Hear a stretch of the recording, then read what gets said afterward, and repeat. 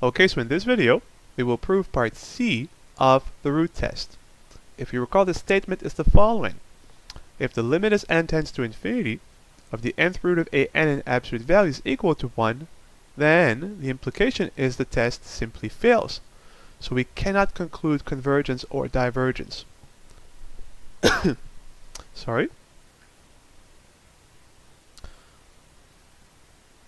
So to prove this, we'll simply show two examples where one series converges, one series diverges, and yet in both cases, the limit is equal to 1, hence proving that we cannot reach any conclusion when the limit is 1. Before we do so, we have to recall a key limit, and that is that as we let n tend to infinity, the nth root of n converges to 1. So let's look at two very familiar series, the harmonic series,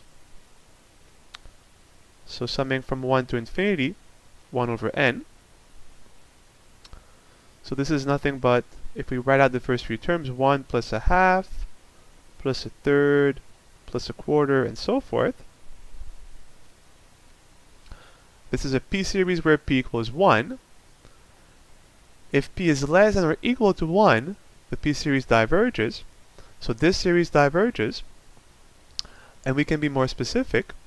As we are summing positive terms, as we add more and more terms, the sum gets bigger and bigger and bigger. And because it diverges, the only way it can do so is by blowing up to infinity. Hence diverges. So here's the first series. Let's now look at a p-series where p is not 1, but where p is equal to 2. So summing from 1 to infinity, now 1 over n squared. We can write the first few terms of the series. So we get 1 plus quarter plus 1 over 9 plus 1 over 16 and so forth. So this is a p-series where p equals 2, as 2 is bigger than 1, this is a convergent p-series, so the result will give us a real number. We can be very specific here, although the result is far less trivial, but this actually sums up to pi squared over 6.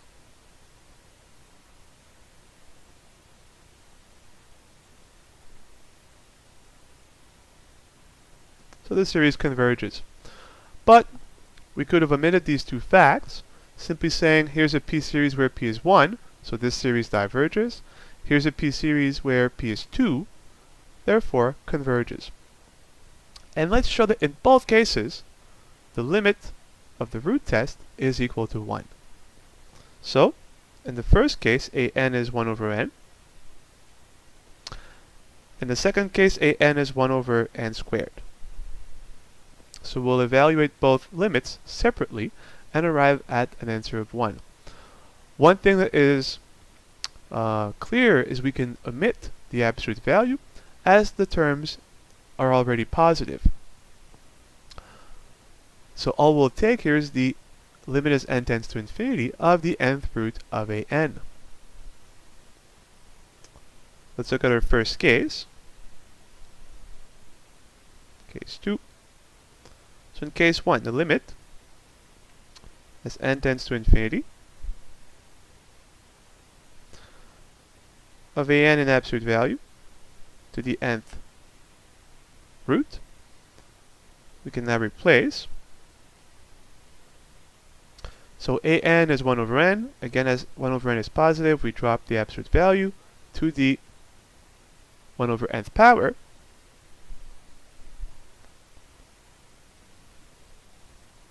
Well, 1 to n power is 1, and on the bottom we'll have the nth root of n. But this is our familiar limit, the one we recalled in the beginning.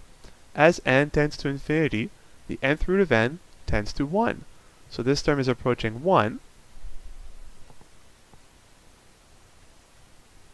So the result will be simply 1 over 1, which is of course 1.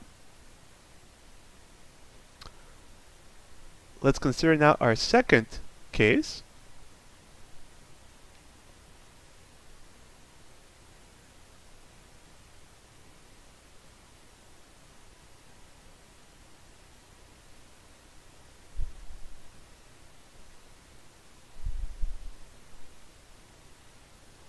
Once again, because an here is positive, we can drop the absolute value. an is 1 over n squared, and we take the nth root of that.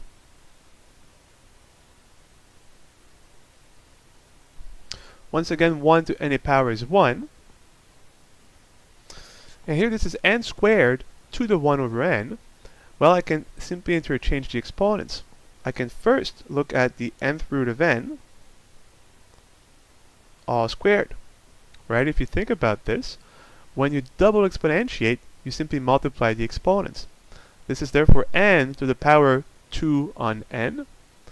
This is n to the power 2 on n. So it's the same expression. And once again, we have here our familiar, li familiar limit. We know that as n tends to infinity, the nth root of n tends to 1. So the inside of our square here is approaching 1. But 1 squared is 1, so once again, we have 1 over 1, which is 1. And this completes our proof. So we have two series. The series of 1 over n and of 1 over n squared as n tends to infinity. In both cases, the limit of the nth root of a n in absolute value, as n tends to infinity, is equal to 1, and yet the first series diverges the second series converges, which shows that when the limit from the root test is equal to 1, we cannot conclude anything, as the series can possibly diverge or converge. And that's it.